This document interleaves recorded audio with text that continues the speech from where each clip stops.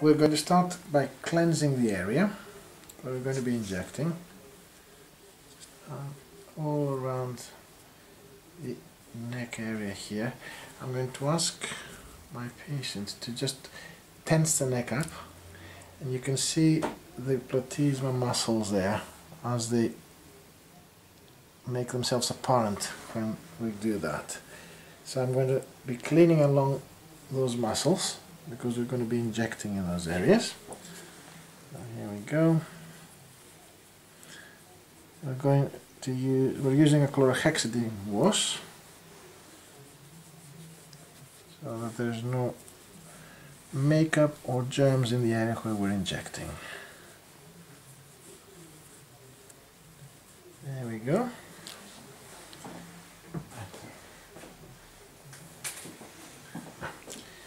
Going to ask, uh, we ask the tensing and then when it's nice and tense we grab hold of the muscle and now you relax, relax, but I've got the muscle in the area where I need it and then we're going to inject just three units of Botox here.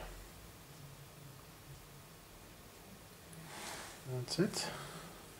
And tense again for me. We go up a little bit higher. Relax for me again and we've got this muscle here. And another three minutes there. And tense again. And relax.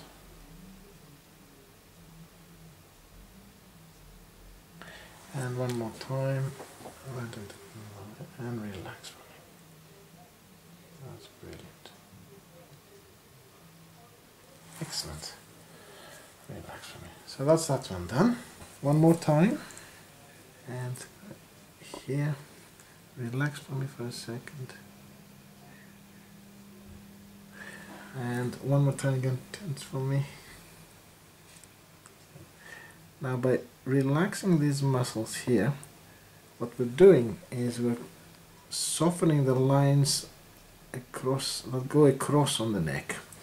And then by going on this side here and relaxing the platysma muscle just underneath the jawline there. But again, very small quantities, only about two or three units of Botox are used there.